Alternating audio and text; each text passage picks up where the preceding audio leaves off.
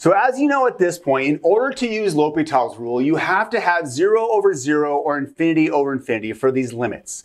In this video, you're actually going to see other indeterminate forms for which we can apply algebraic tricks in order to apply L'Hopital's rule. The first example that you're going to see is two terms that go to infinity we have algebraic tricks that we apply to these terms to combine them into one quotient for which we can apply L'Hopital's.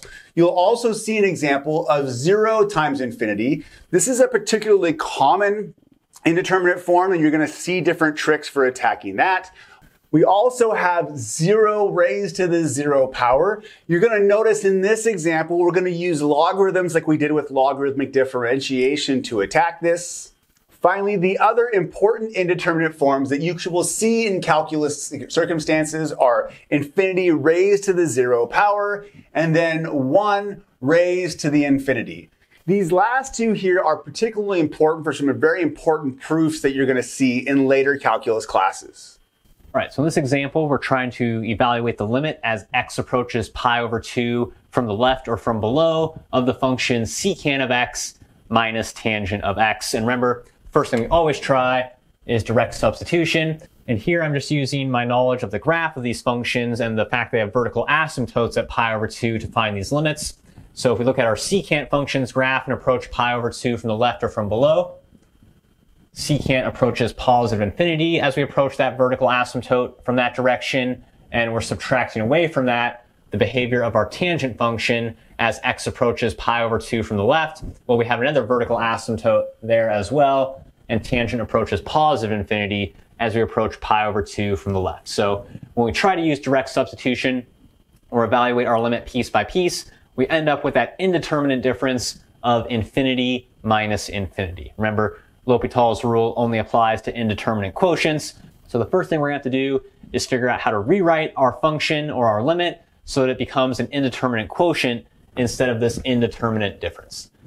And usually there's kind of two strategies that are commonly used for working with these indeterminate differences. One is to try to find a common denominator if it is possible, and the other is to use properties of exponential and logarithmic functions.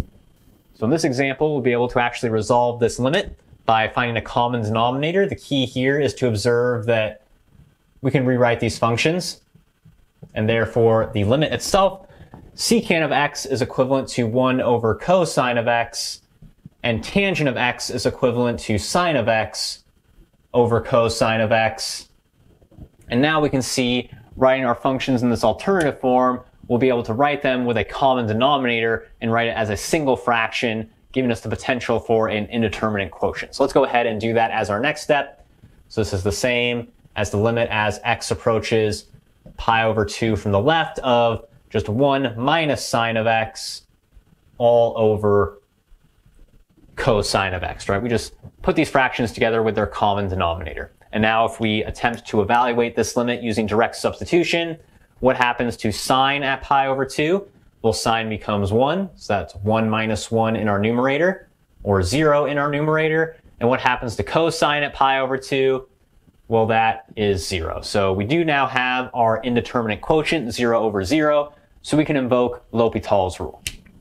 So according to L'Hopital's rule, our limit is equivalent to the limit as x approaches pi over 2 from the left of the derivative of the numerator divided by the derivative of the denominator. The derivative of 1 minus sine of x is going to be negative cosine of x and the derivative of cosine of x is going to be negative sine of x. And so now if we try to evaluate our limit using direct substitution again, cosine goes to 0 at pi over 2, and sine goes to positive 1, so negative sine goes to negative 1, but that negative sign doesn't really matter. That's 0 in our numerator, zeroes everything out, and so using a little bit of algebra and L'Hopital's rule, we found our limit the limit as x approaches pi over 2 from the left of secant of x minus tangent of x is equal to 0. All right, so in this example, we are trying to evaluate the limit as x approaches 0 from the right or from above of the function x times the natural log of x. And right, we have this one side limit because our natural log component of this function is only defined for those positive x values. If we try to evaluate this limit using direct substitution or thinking about doing it piece by piece, what happens to x as x approaches zero? Well, x goes to zero. And what happens to our natural log function as x approaches zero from the right? Well, if you remember the graph of your natural log function, it has a vertical asymptote at x equals zero. And so it approaches negative infinity as we approach zero from the right. So we have an indeterminate form. We're encountering our indeterminate product, zero times infinity, and it could be positive or negative infinity. So for this indeterminate form, L'Hopital's rule does not apply. In order to use L'Hopital's rule to find this limit algebraically, we have to first rewrite our function. And there is a, uh, a trick that works almost every single time for these indeterminate products. So if we have an indeterminate product like f times g is approaching zero times infinity or something like that, then what we always do or always try to do is rewrite the function f times g in an alternative form as either f divided by 1 over g or as g divided by 1 over f, right? Dividing by that fraction is the same as multiplying by its reciprocal. So algebraically, these are equivalent to the product of f times g. The idea is when we write them in these forms, though, we'll actually encounter the indeterminate forms for which L'Hopital's rule applies, 0 over 0 or infinity over infinity. And you have to be careful when you are doing this. You have to kind of make a choice of which function are you going to send to the denominator and reciprocate. And to help us make that choice, sometimes it's done by trial and error, but sometimes we want to think ahead, like which function is going to be easier to differentiate when it's 1 over itself.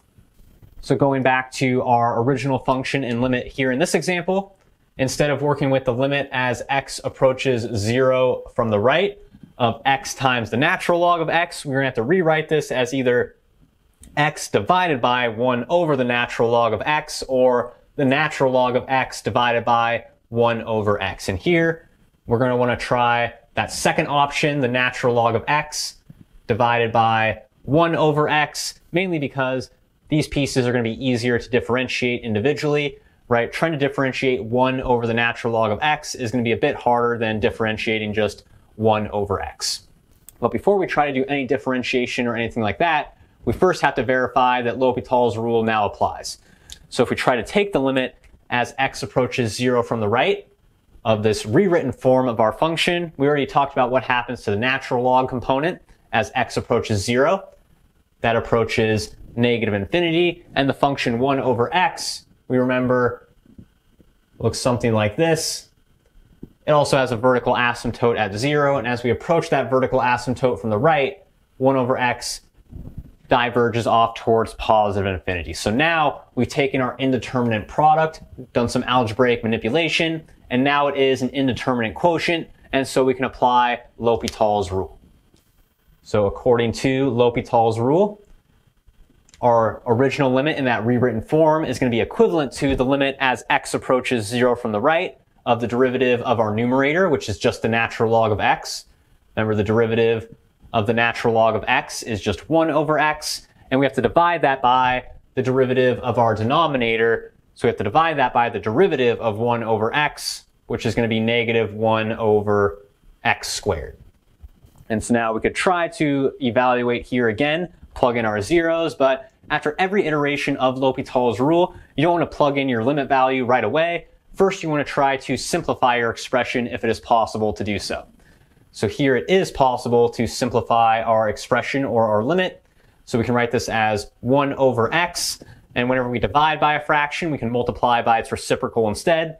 So instead of dividing by negative 1 over x squared, that's the same as multiplying by the reciprocal x squared over negative 1. And when we do that, we can see some of these x factors cancel, and what we're really left with after the dust settles is the limit as x approaches 0 from the right of just negative x. And now that is a nice little polynomial. We can find that limit using direct substitution.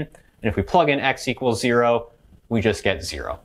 So it took a bit more work, but we were able to find this limit algebraically using L'Hopital's rule. We now know that the limit as x approaches zero from the right of x times the natural log of x is equal to zero. And this is going to be our go-to strategy for evaluating these indeterminate products. Just rewrite it as uh, a quotient f divided by 1 over g or g divided by 1 over f. And remember, if your first choice doesn't work out, try the other option and see if that will resolve your limit. All right, so let's go ahead and try to evaluate this limit.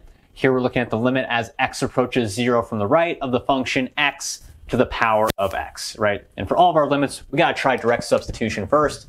If we attempt to just plug in x equals 0, well, very quickly we get 0 to the power of 0. And that was one of those less common indeterminate forms, but still an indeterminate form. A strategy that tends to work pretty well is using properties of exponents and logarithms to manipulate and rewrite your limit. And so how's that going to work here? Well, the idea is we're going to start by assuming that our limit exists and we'll give it some name, call it y. So let y be the value that comes out of the limit as x approaches zero from the right of x to the power of x. So then what we can do is take the logarithm, the natural log of both sides of our equation. So on the left-hand side, we get the natural log of y. On the right-hand side, we get the natural log of the limit as x approaches zero from the right of x to the power of x. But we can use some of those limit laws, properties of limits, and properties of the natural log function to rewrite this. So the first thing we'll do is maybe pull the limit outside of our natural log function because the natural log is a continuous function. We can do that. Uh, so then we're really looking at the limit as x approaches zero from the right of the natural log of our original function x to the power of x. And so now from here, we want to manipulate it a little bit further, right?